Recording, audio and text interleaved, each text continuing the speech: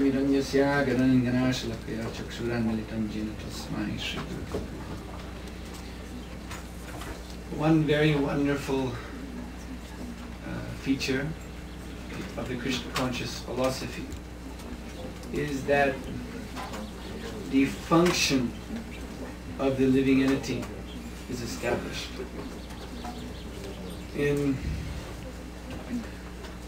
other religions, mundane religions, and even in the non-Vaishnava Vedanta, which is Vedic, but which is impersonal, there may be some idea of soul. Actually, in non-Vedic religions, although they speak of the soul, that conception is actually material. Like the, there are many kinds of Christians who actually think that the body is the soul, and the body is the soul. This is their philosophy. They say that when Jesus comes on the judgment day, then the graves will open and the bodies will come out of the Christians. And anyway, so this is highly materialistic. At least in the uh, Advaita Vedanta or Mayavadi philosophy, the soul is understood to be non-material, eternal, not the body. But of course, that philosophy has its own problems. They take a aham brahmasmi to mean I am God. And that God is inactive. For the Mayavadis, the soul is completely passive, has no function, it simply exists. But in Sri Chaitanya Charitamrita, the uh, soul, Jivera, Swarubhai Nityara Krishna Das, is explained to be eternally the servant of Krishna. so the soul is therefore dynamic, spiritually dynamic. But as was mentioned this morning at the end of uh, the Bhagavatam class, when these souls fall into the material nature, they become covered by most profound ignorance. And in that state of ignorance, the soul is asleep and therefore inactive. Of course, when we say inactive, activity is there in the sense that the soul is always always vibrating with spiritual energy. And a therefore a perverted reflection of activity manifests in the form of uh, this body and its engagement in sense gratification. But from the transcendental point of view, the soul is inactive. Nishkriya is not doing anything, not doing anything of value. So, just like a car, an automobile is designed with a function. Now, an automobile can have a problem in the motor and become inactive. Let's say the battery goes dead. So that is uh, an apt comparison. The situation of the soul in the material world. It's like a car with a battery gone dead. It's there. Uh, and the potential of function of its proper function is there. But it has been rendered inoperative. So if you're standing on the side of the road and your battery has gone dead, you can't start the motor of your car, then one thing you do is you wave down another car. And if that person happens to have, or you have, happen to have battery cables, then you can connect his battery from his running car to your battery, which is dead, and you can start your motor. And once the motor is running, then that will charge the battery, your car is, you just keep the motor running battery will charge up again, the car will be in good working order. So this initiation is like that. When we receive the Hare Krishna Mahamantra from the spiritual master, we are getting the battery cables attached to our heart. The charge is coming in. This is actually the meaning of Diksha. There's Nama Diksha and there's Mantra Diksha, two kinds of Diksha. First initiation and second initiation. So mantra means the Gayatri mantra. Nama means the holy name. So both are Diksha. Diksha, Srila Jiva Goswami defines, as we find translated in Srila Prabhupada's purport. Diksha means the transmission of spiritual knowledge. So that is what is going on here. Spiritual knowledge, Chit Shakti. Uh, this uh, permits us to engage in our function. By knowledge, we, then we know what to do. Why are we inactive? Because of ignorance. The avidya shakti, the achit shakti of Krishna has covered us. Uh, as Krishna says in Bhagavad Gita, Avritam jnanameti, jnaninas nityavarina. Uh, the soul is the jnani by his real nature. He's the knower. Uh, and he's, by that knowledge, he has his spiritual function. That knowledge means he he knows Krishna because he's part and parcel of Krishna. And his function is to serve Krishna. But avritam jnanami, that knowledge has been now covered. So that knowledge therefore manifests through the material elements in a perverted way, and similarly his function is perverted, as Krishna explains. That uh, what is it? Arvantam jnanametanam jnaninas nityavayanam Kama Rupena Kaunteya, Dushpurnanaminacha. His activities are simply lusty. And this lust is being, in the previous verse, Krishna said, it's Ditya Vairana, eternal enemy of the soul. So it is burning him like fire. The senses, which are actually the extensions of the soul, because we have a spiritual body, but the senses in the material world are on fire, burning with lust. And just like a person when he's on fire, what does he do? He's just jumping around like a mad So in this material world, we're just jumping around like mad people, engaging in uh, senseless. Although we have senses, our activities are senseless because we don't know what is the proper function of the senses. And getting more and more entangled, more and more implicated in the uh, samsara chakra, the wheel of birth and death. So this process is stopped by this transmission of knowledge. The function of the soul is restarted. So Srila Prabhupada always said this initiation is not the end. It's just like, again, this jump starting, it's called jump starting of a car. That's the beginning. Your motor is running. Now you put the car in gear. You uh, use the car as it is supposed to be used. So initiation means beginning. In the very early days, I think one of the first initiations Srila Prabhupada gave, I was told by uh, Satsvarupa Maharaj that one of the these early initiates, from the first or second initiation, just after he received his name and beads, the devotee saw him putting on a backpack. And they asked him, ah, Prabhu, where are you going? He said, oh, now that I'm initiated, I think I'm going to take a vacation in Greece. that was the last they ever saw him. so it's not that we take this initiation to be, oh, now I've made it. Now, you see, I'm a resident of the spiritual world, so whatever I like. Go to Greece. or anywhere else in the material world. No, it's the beginning. Now the spirit soul uh, has been awakened now it should act properly. And for how to act, we have to go on hearing from the spiritual master, from the revealed scriptures, uh, from the great acharyas, sadhus, saintly persons. We take uh,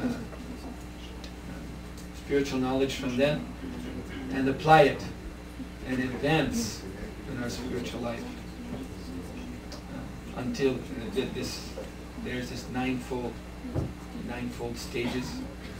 This stage is the third, bhajana kriya, in which we take initiation. It begins with shraddha, some faith, must be there. Then sadhu sangha, association with devotees, just like when we enter the temple, become bhakta, bhakti. And then this stage, bhajana kriya, means now we are vowing to follow the regulative principles and keep our senses always engaged in devotional service under the direction of the spiritual master. And then from this uh, comes anartha nivriti.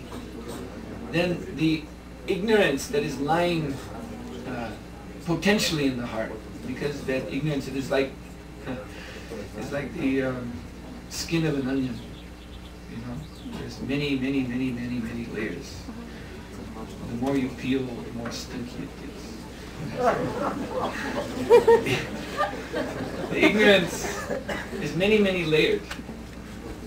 So, uh, the propensity for sinful activity has to be eradicated by steady practice, sadhana.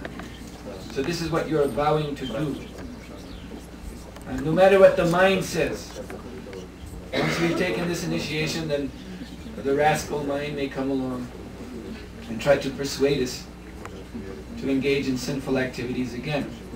But we must remember that before the deity, before the Vaishnavas, before the fire, and certainly before the spiritual master, we have taken this solemn vow that we will follow four regulative principles for the rest of our life every day. Chant 16 rounds, 25 rounds on Ekadasi, uh, and otherwise, always keep our senses and mind engaged in Krishna's service. So then this brings about, by this steady practice, anartha nivriti. Then the, even the very tendency for sinful activity is eradicated. And then one comes to nishta, a steady platform. And then very quickly, when one has achieved nishta, steadiness, in Krishna consciousness, then ruchi follows. Then we actually begin to experience the sweetness. We read about the sweetness of Krishna's holy name. So that is tasted after one has attained Nishta. And then by this sweetness, one becomes very attached. Asakti, very attached to chanting and hearing, very attached to come and see the deity, uh, to hear about Krishna, and to perform devotional service. And then from this attachment, bhava springs. Bhava means ecstasy. And after becoming established in ecstasy, it's only a small step to prema, love of. Actually, bhava is the liberated platform already. But it is generally said that while having a material body, the advanced devotees then they are on a platform called bhava bhakti, and after they give the body up, then they attain prema bhakti in the spiritual world. But both are actually liberated. So, um, anyway, this is brief what we're doing here today. And uh, since everything is so late, I cannot extend this talk longer. So what should I do now? Should I? Names. Oh, Thank you very much.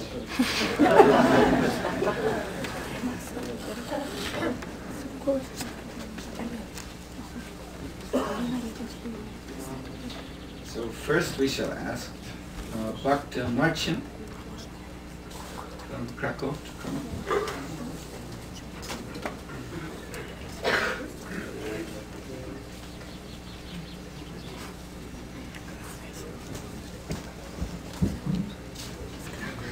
is Marcus.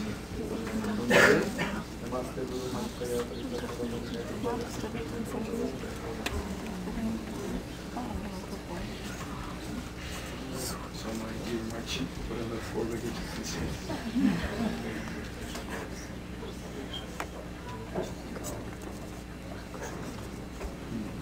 How many rounds will you chant? What about any cards? Icaresi. 55? Great. we wanted to check 55.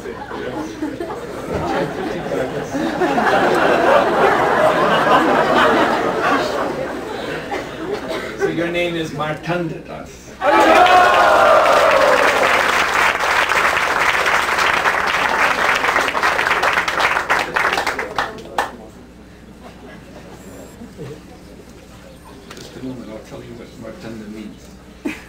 Martanda is the name of the sun god, Surya. Srila Prabhupada in the 20th chapter of 5th canto says, the sun god enters this universe and by his effulgence he divides the universe into two regions, the regions of light and the region of darkness. So uh, a preacher, uh, Sankirtan devotee, uh, is also Martanda because by his preaching he sheds light and this light is accepted by some and rejected by others. So there are always those who come to the light and those, Prabhupada says, like owls who flee from the light.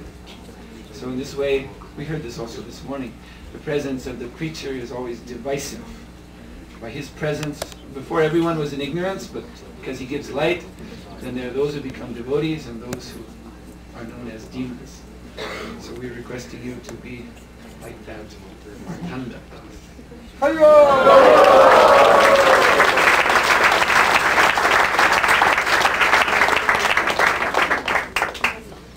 Marcus, and then after Marcus is Patrick.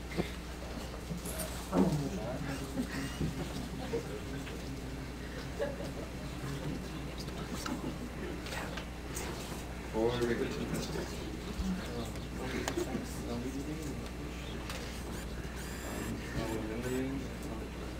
How many rounds? Kasi. Your name is Amara Prabhu.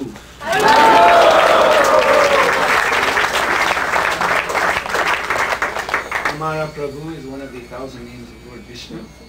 Amara means immortal, Prabhu means Lord, so Lord Vishnu is the Lord of the immortals.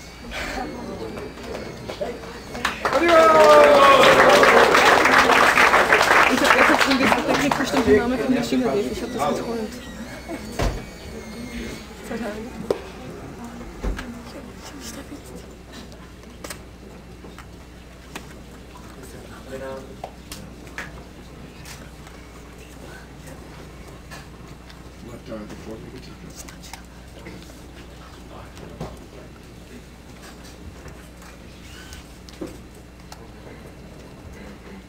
many rounds will we check? Your name is Patrapatinas. Patrapati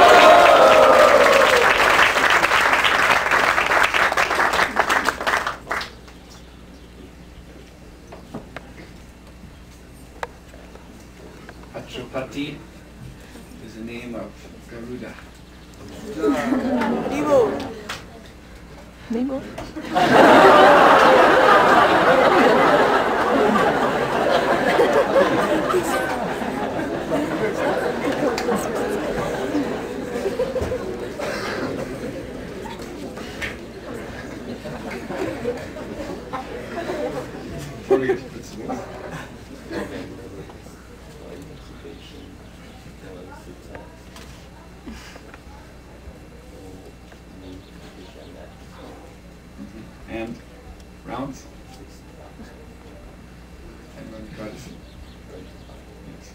So your name is Pavitra Vanidas. Oh,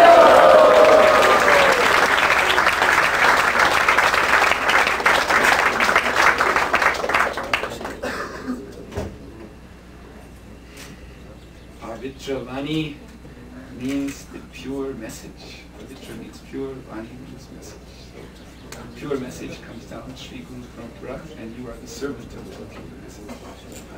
Hare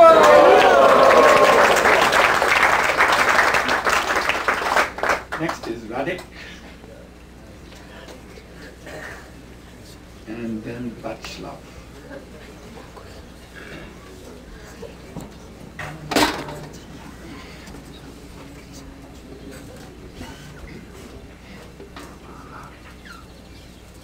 What are the four religions?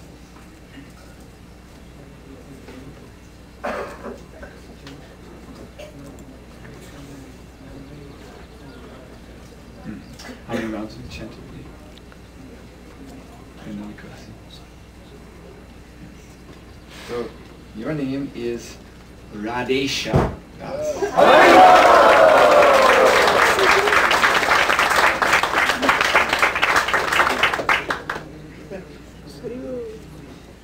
Where's Vaclav?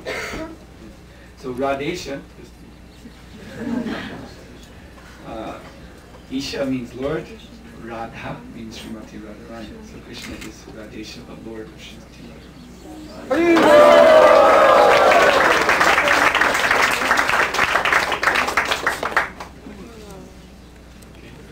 Vaclav.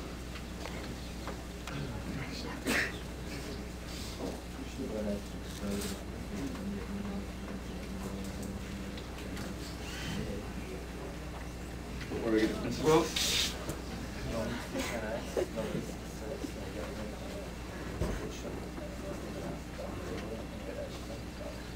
the first class disciple. he fills the spiritual master desire, desire without even asking. so your name is Vidya Vachaspati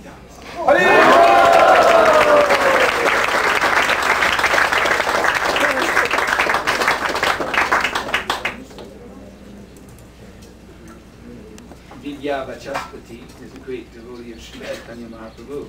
He's the brother of Sarvabhauma Bhattacharya. Lord Chaitanya instructed Sarvabhauma Bhattacharya to worship Lord Jagannath, and he instructed Vidya Vachaspati to always worship Ganga Devi. Because Lord Chaitanya said in Yuga, Brahman appears as wood and as water. So as wood, he is Lord Jagannath, and as water, he is Ganga you are that servant Vidya Vachaspati.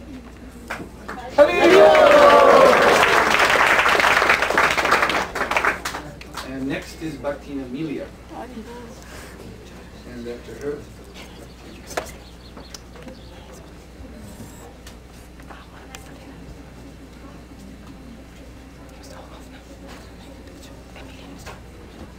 before we get to principles.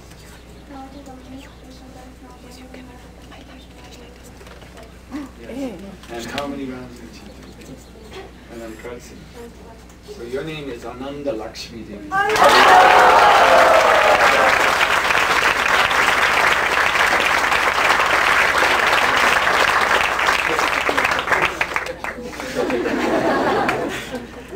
There are different forms of Lakshmi for worship for the Vaishnavas.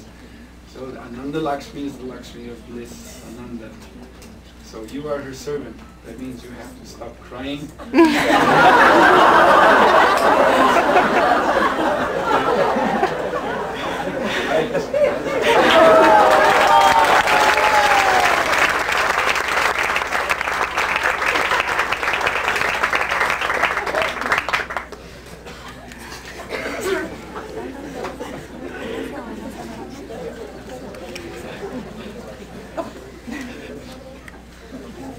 So what are the four regular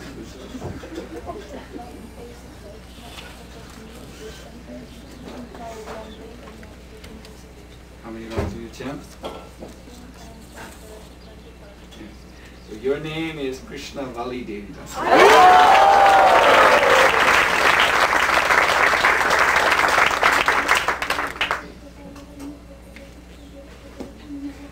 There are two forms of Tulsi Devi, Rama Tulsi and Krishna Tulsi.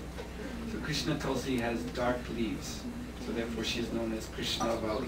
Vali means leaves, so you're the servant of dark-leaved Tulsi Devi.